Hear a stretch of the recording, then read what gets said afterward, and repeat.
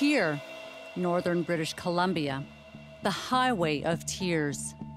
Located between Prince Rupert and Prince George, Highway 16 in British Columbia is also known as the Highway of Tears. Countless Indigenous women and girls have either gone missing or have been found murdered with a common deadly link to the Highway of Tears. It was here that the bodies of Alberta Williams and Ramona Wilson were found murdered years apart. Ramona Wilson and Alberta Williams were living happy lives surrounded by family and friends. Their murders devastated both families, and in each case, the crime remains unsolved. The Highway of Tears is made up of never ending corridors of logging roads, ravines, and rivers, and can be a haven for concealing criminal activity. But these crimes of opportunity are about more than location. They reveal dark underlying truths about society. At any time during this broadcast or afterward, if you have any information that might help solve the case of the murder of Alberta Williams or Ramona Wilson, visit our website. Someone out there has answers. Our goal is to find them. Alberta Williams was 24 years old when she was murdered. Her body discarded and found near the Highway of Tears on September 25, 1989. Alberta Williams and her family hail from Gitxsan First Nation near Hazelton, British Columbia. It's at the most northern section of Highway 16, less than 300 kilometers from Prince Rupert.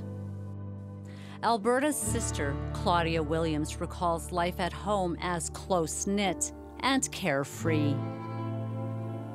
Alberta, you know, just like my other sisters, they, they were, I think we're all brought up to be very happy. I don't think there was any one of us that were sad, just happy, just kind of welcome things as they come. You know, so I like to help people a lot, and socializer.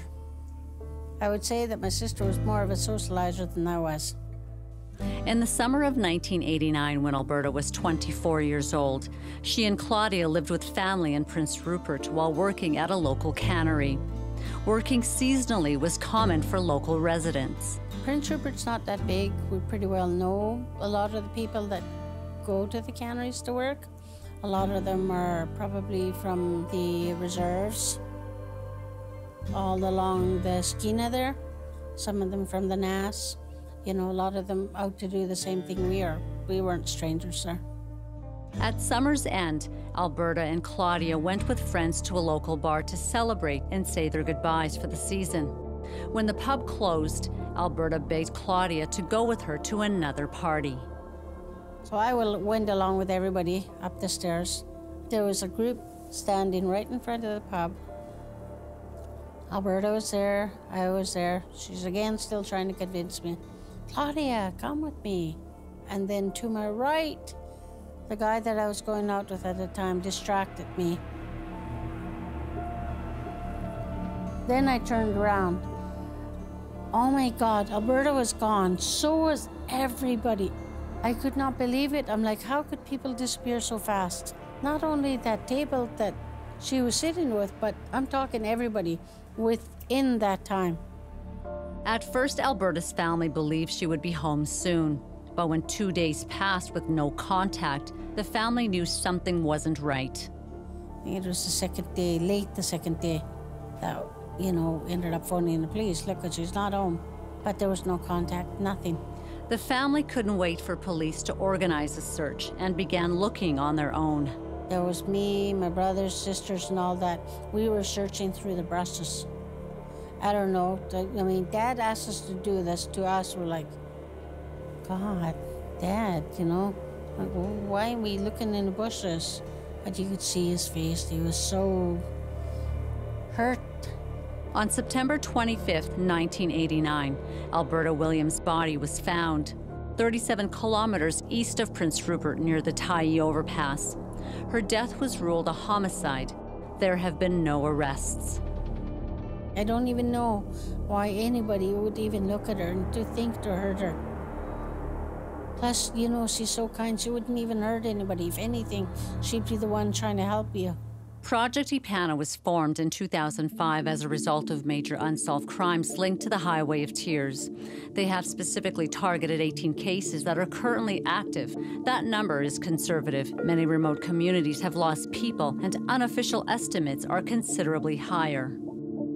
She was a young girl in Prince Rupert, and she was out with her friends and, and family the night that, um, that she went missing. And um, she was found uh, sometime later, um, you know, on the highway between um, uh, Prince Rupert Terrace, and you know, off into a uh, there was a, a, a, rail tie yard, and um, you know, we've looked at all kinds of people. I think we've identified everybody that's worked at the at the you know with the, the rail uh, company, and um, like nothing. Alberta was added to the EPANA list of active investigations, but Claudia has taken matters into her own hands, enlisting the expertise of private investigator Ray Michalko.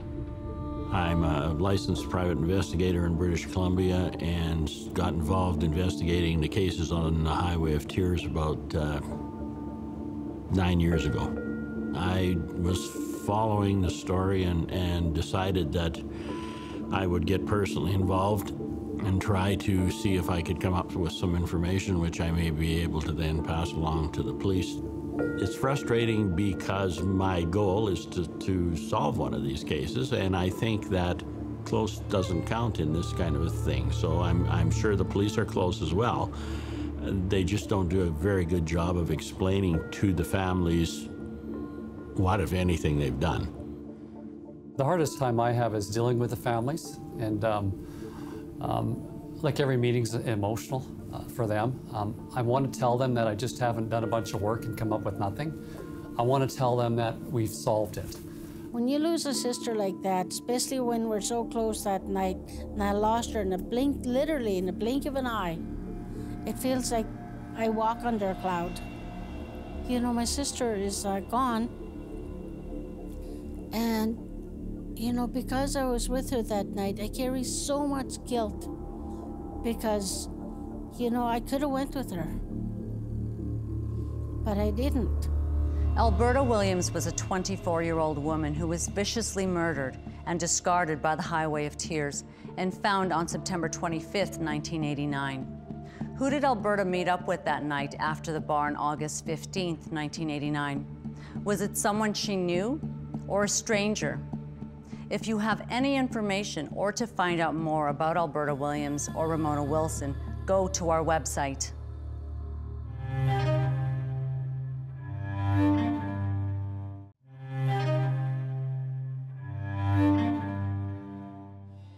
On June 11, 1994, Ramona Wilson left home to visit friends in nearby Moricetown, BC. In April of 1995, Ramona's remains were found near Highway 16. Who made sure Ramona didn't arrive at her friend's house? And that she would never see her family again.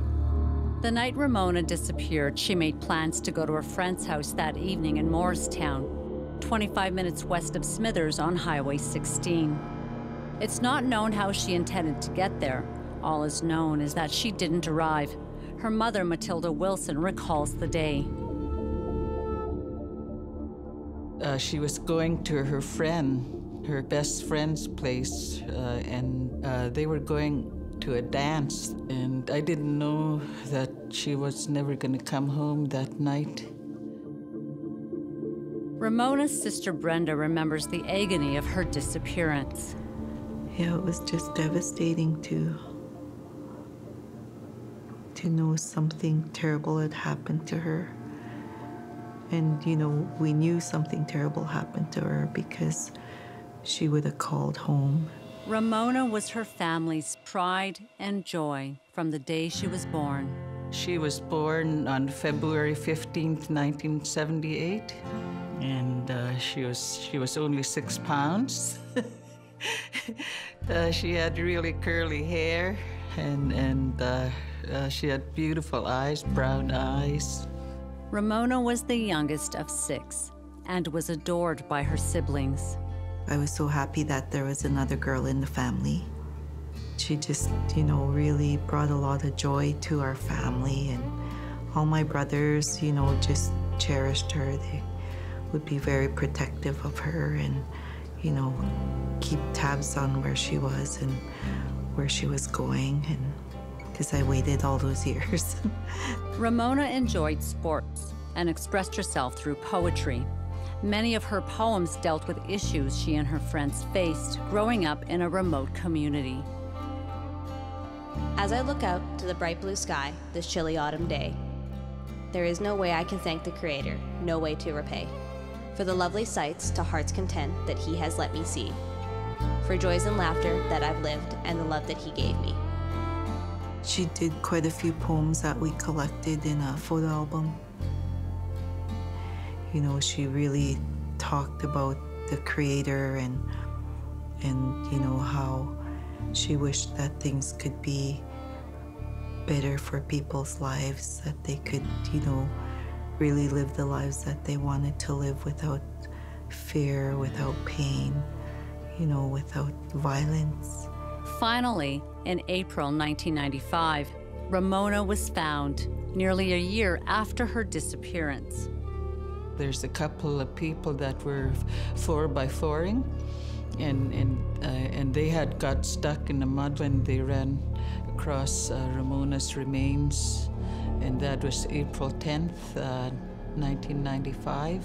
Her body was found in a wooded area off Yelich Road near the Smithers Airport. Her clothes were also found, neatly placed nearby, as was a partially buried length of rope and several plastic zip ties linked together.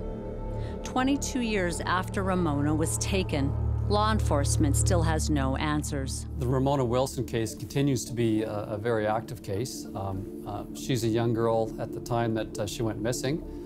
Uh, you know, like all of them, they're all, they're all still very solvable. Um, we haven't got any closer, unfortunately. But, you know, what we have done is we've eliminated many, many, many people. And, and it's, a, it's, a, it's a shallow victory, but, it, but it's something. Chief Terry Teegee of the Carrier Second E Tribal Council knows too well the challenges faced by people in his area.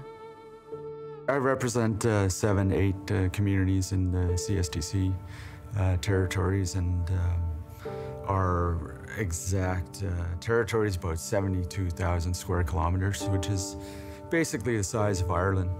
One of the obstacles that Indigenous people living in this remote area face is the lack of safe, affordable transportation. What's difficult for a lot of our community members is that, uh, in the end, how are you going to get to a, an urban center? How are you going to get to point A to point B if you have an appointment or you have to go back to school? Uh, so, so a lot of our membership or a lot of uh, people along the highway just decide to to make that choice and and uh, hitchhike. And uh, it's a crime of opportunity. Many of the cases uh, are a lot of these women, which were a lot of First Nations, were victimized. Matilda continues to honor Ramona's memory despite the years that have passed. She loved people and she loved her culture, and she always tried to be kind to everyone. And and I hope someday that that that they will find they, they will solve her murder. Ramona Wilson was living an exciting life as a teenager, but that life was cut short. What happened to Ramona Wilson? And is the only link between her case and Alberta Williams that they were both taken from the Highway of Tears? If you have information on either case, go to our website.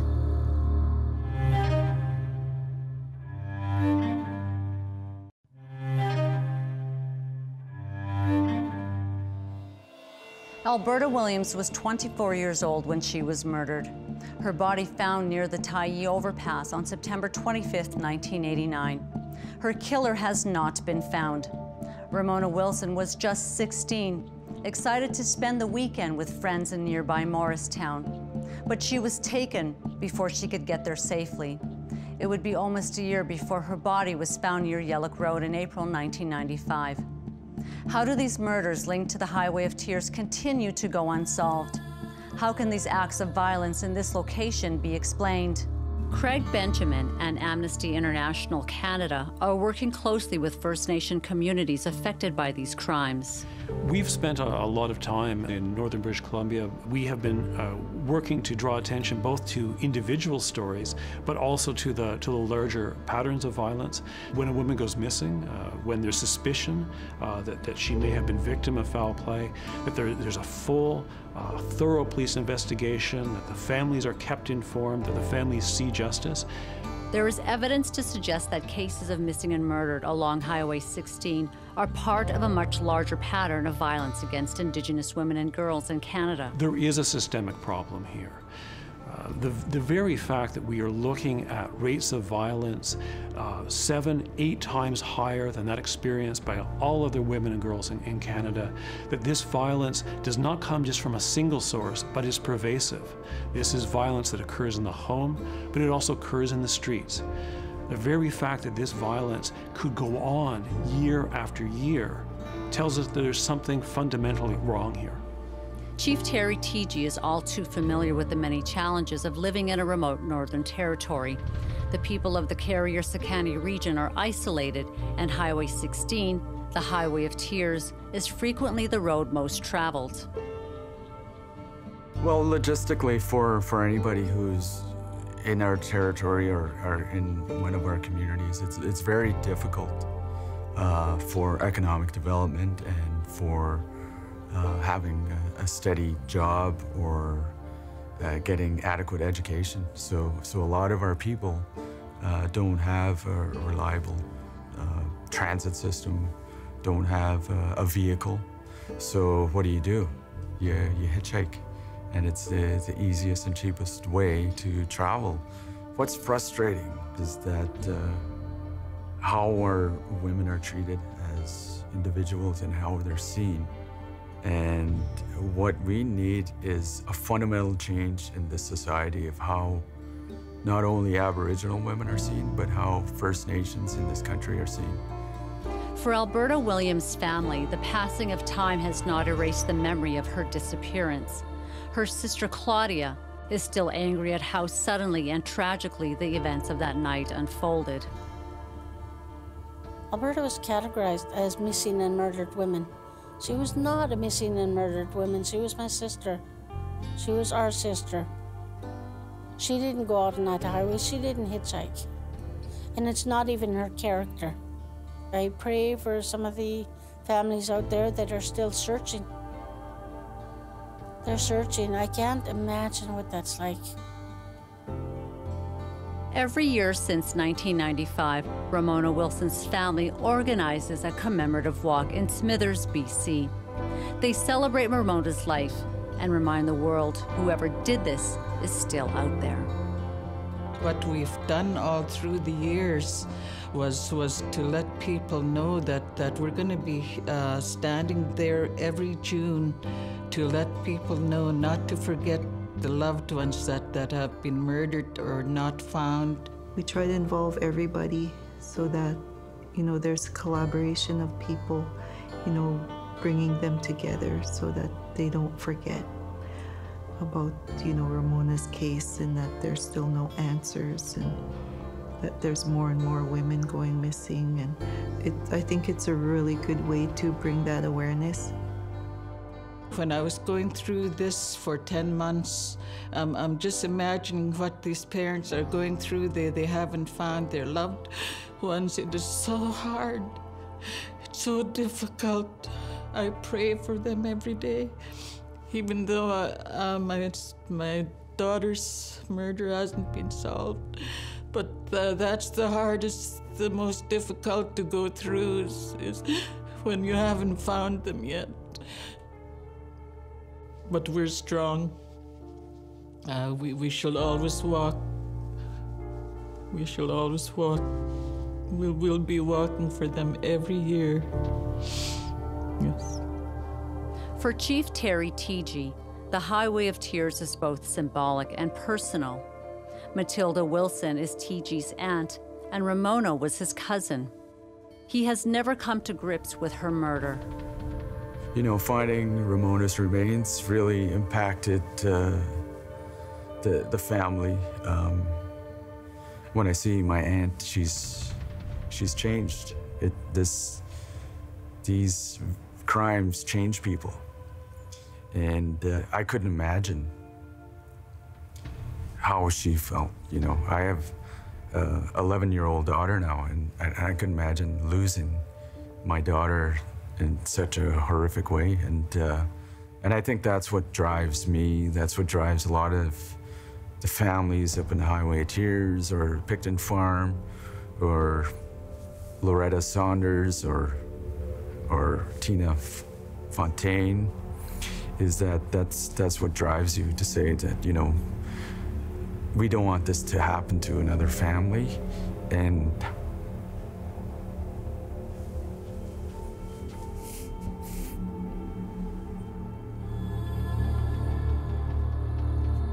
For more information about Alberta Williams and Ramona Wilson, visit our website.